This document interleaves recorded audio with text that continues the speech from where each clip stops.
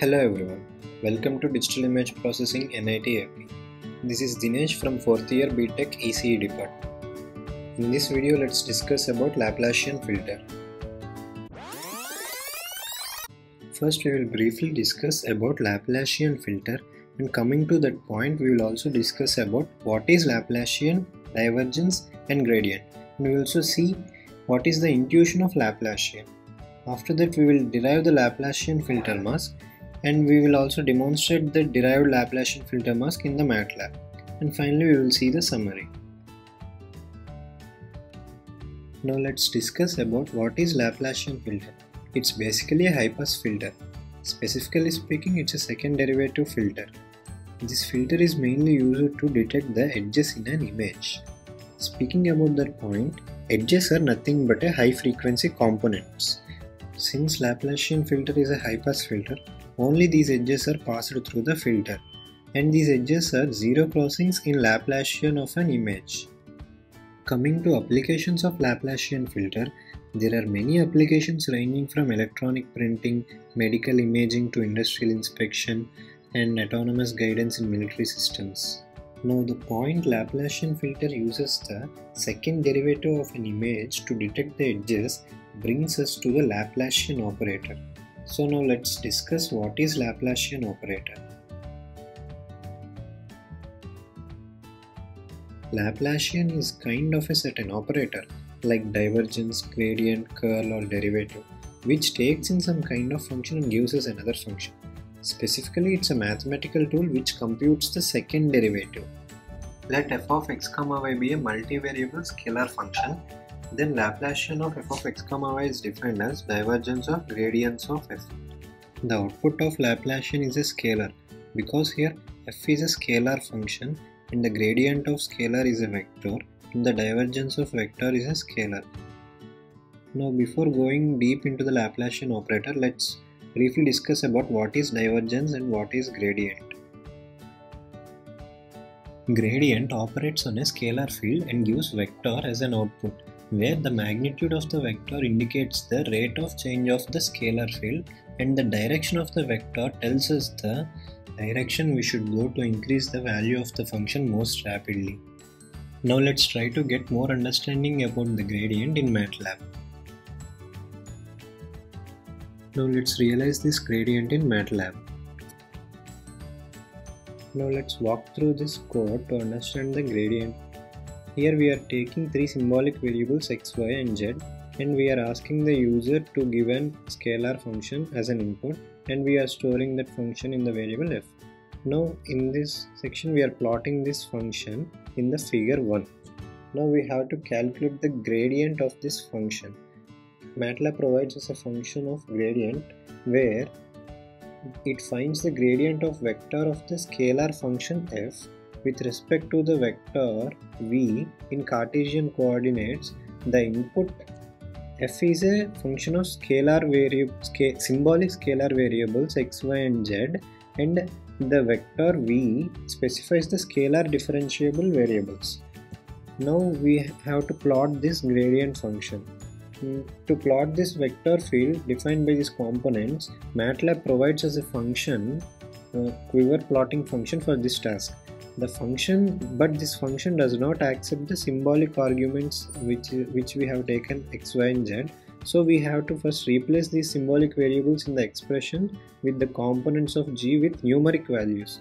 So we are taking a mesh grid xy and we are uh, calculating the numeric values instead of symbolic values uh, and we are giving these as inputs to the quiver function and we are plotting the gradient function. Let's let's run this code now.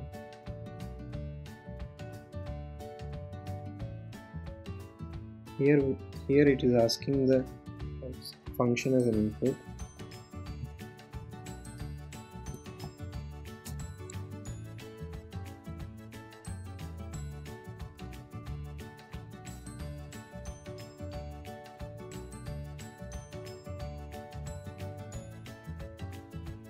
this is the gradient field of this function.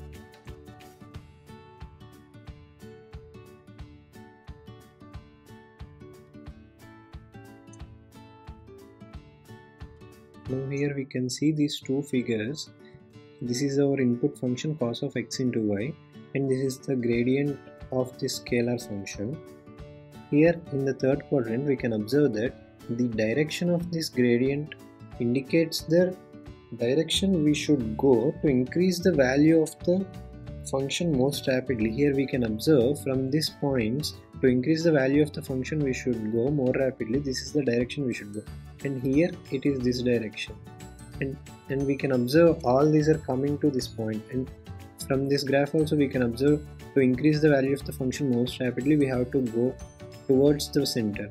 And this gradient direction also indicates those things and the magnitude of this gradient indicates the rate of change of the scalar function. Here we can see there is more slope compared to here.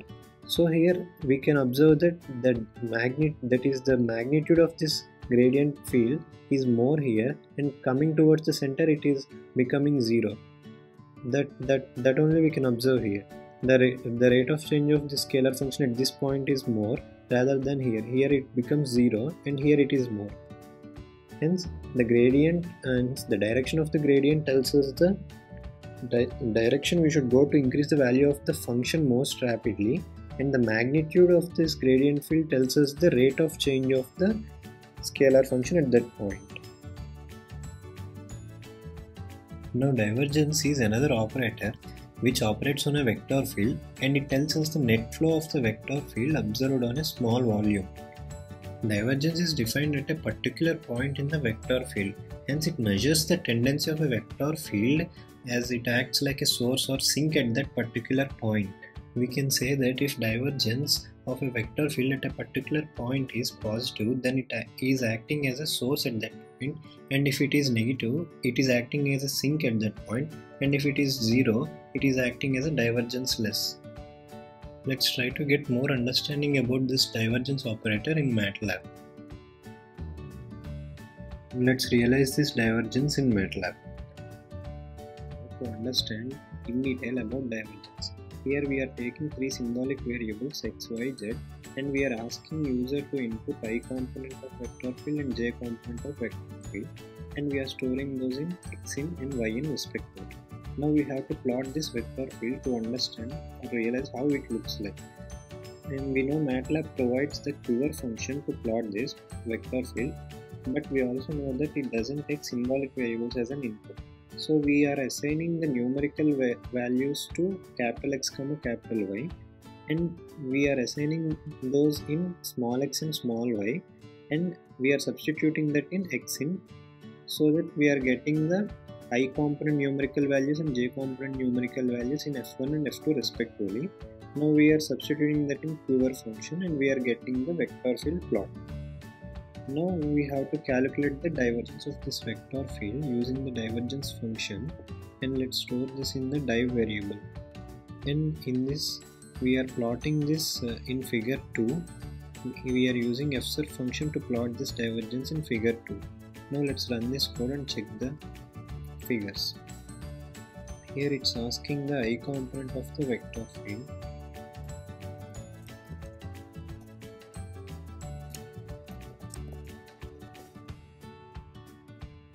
Now it's asking the j component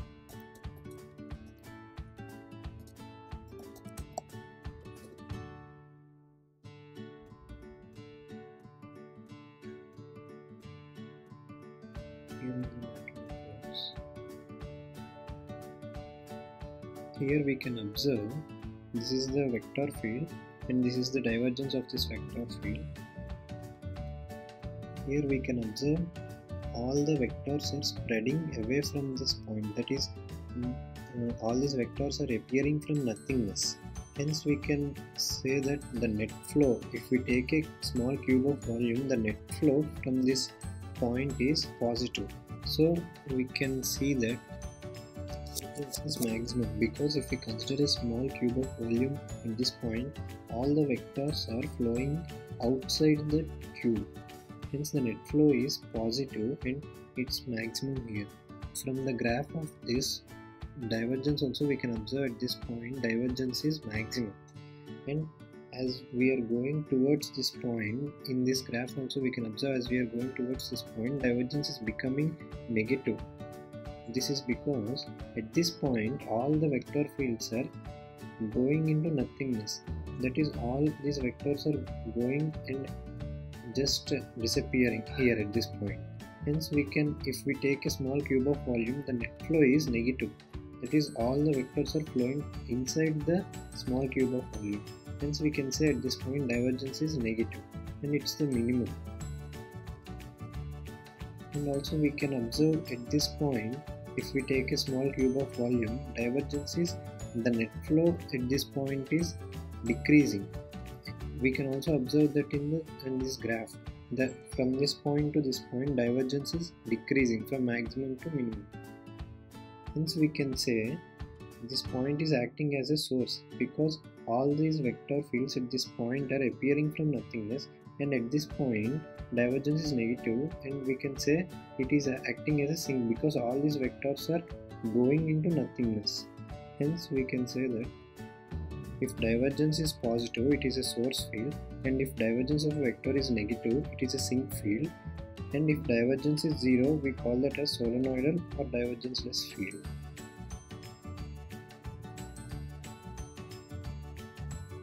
Now what is Laplacian? We know it is divergence of gradients of f but what it is supposed to mean? Let's try to understand this by the figures shown. Here from the figure 1 the above one is a multivariable scalar function and the below is the gradient of the scalar function.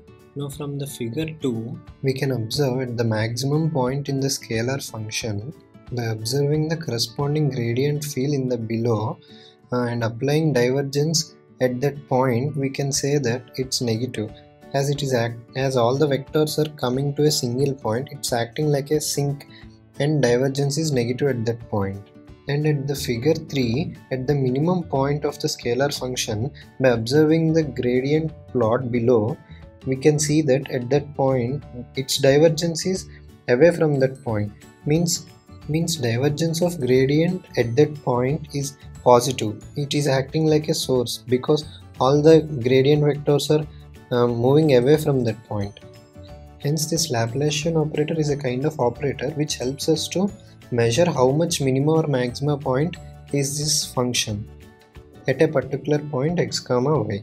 Hence we can conclude at minima Laplacian is positive and at maxima Laplacian is negative. Now let's see what is the intuition of Laplacian. That is how we can use second derivative of an image to detect the edges. We know when there are edges in an image, there will be sudden change in intensity values at these points. Now let's understand how we can use second derivative of an image to detect the edges. Now let's take the below f of x where we can observe the sudden change hence we can say that it is an edge. And by applying first derivative since it is a sudden change we will get an impulse function. By applying derivative again to this impulse function we will get the function as shown in plot 3. Here we can observe the zero crossing. Hence at the edge in an image that is at the sudden increase or decrease in f of x we can observe in its second derivative there is a zero crossing. Now we use this property to detect the edges of an image by using Laplacian operator. Now let's try to understand this property of zero crossing at the edges of an image. Here we'll try to understand this with the help of this image. Here let's take a line AB in this image and the intensity values in this strip are given in the array image strip as shown in the Plot of this intensity values is also given in the first figure. As we observe along the line AB, first there is a bright pixels and then it is decreasing and at a particular point there is a sudden increase in the intensity value. And again there is dark intensity values and we can observe there is a line passing. And eh, hence again it is rising intensity value. And again there is a dark intensity values and there is a some rectangle white shade. Hence again there is a rise in intensity values.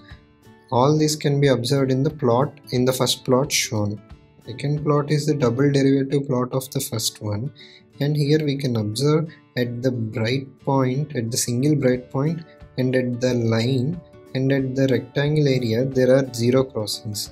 Hence we can observe these zero crossings detect the edges in an image.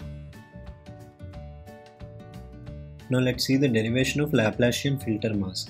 For one-dimensional case, as we have seen in the above example for the line AB, dou square f by dou x square is f of x plus 1 plus f of x minus 1 minus 2 times of f of x. Now for two-dimensional image, considering x and y coordinates, for double derivative with respect to x, keeping y as constant, and for double derivative with respect to y keeping x as constant dou square f by dou x square is f of x plus 1 comma y plus f of x minus 1 comma y minus 2 times of f of x comma y and dou square f by dou y square is f of x comma y plus 1 plus f of x comma y minus 1 minus 2 times of f of x comma y. Total derivative that is second derivative of the image is dou square f by dou x square plus dou square f by dou y square which is f of x plus 1 comma y plus f of x minus 1 comma y plus f of x comma y plus 1 plus f of x comma y minus 1 minus 4 times of f of x comma y. Now to implement this equation in pixels we need to apply convolution. For convolution directly we can't apply this on an image. We need some filter mask. Since we are doing second derivative in discrete case, we are finding the difference of the differences. So we need at least 3 pixels. So that's why we are using 3 by 3 mask as shown in first matrix. Now to get the filter mask, we put the coefficients of the terms in the total derivative equation in the first matrix and we will get the second matrix which is del square equals to 0 1 0 1 minus 4 1 0 1 0. Here there is a slight disadvantage we are considering only x direction and y direction but edges can be in any direction so to be more accurate, by considering the distance epsilon, the del square becomes 1 by 6 epsilon square times and the matrix is 1 comma 4 comma 1 and 4 comma minus 20 comma 4 and 1 comma 4 comma 1. Now let's use this Laplacian filter mask to detect the edges of an image in MATLAB. Now let's see the MATLAB execution of this Laplacian filter mask understand about the Laplacian filter. Here we are reading the image moon and storing it in the variable x and we are showing it in the display in figure 1 and we have we have derived the Laplacian filter mask h which is 0 1 0 and 1 minus 4 1 and 0 1 0 now let's apply this filter h to the image x and get this output. And we are showing this output in figure 2 let's run this code now